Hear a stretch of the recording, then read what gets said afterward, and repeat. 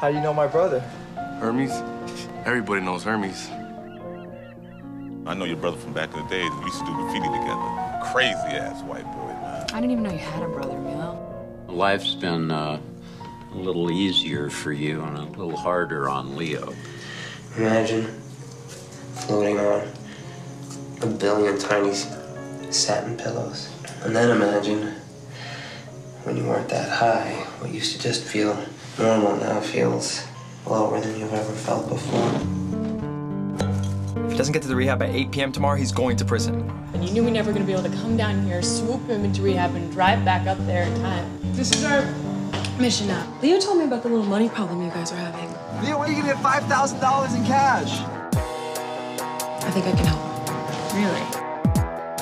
I gotta get my ass to rehab. You said I was the dirtiest man you'd oh, ever. Milo, you wanted to go so badly. Andale, Leo, andale. have you ever thought about just giving up and just doing your time? Kill myself before I go back to jail. How about he agreed to send you to rehab because of me? Milo, stop filming me getting hooked.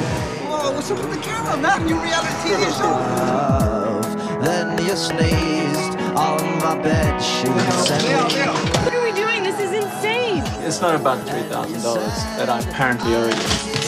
At this point today, we have driven a stolen car, sold the stolen car, and let a convicted felon buy and use drugs. Oh man, that's the sticky icky. That's the Bin Laden armpit. This was that I don't know this about. Milo, what are we doing?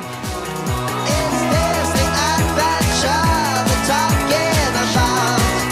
We do a drug deal, get me into rehab, and then the student becomes a teacher. Either we commit a crime or we watch Leo go to prison. Today profess your love, but when we love a million more, stop.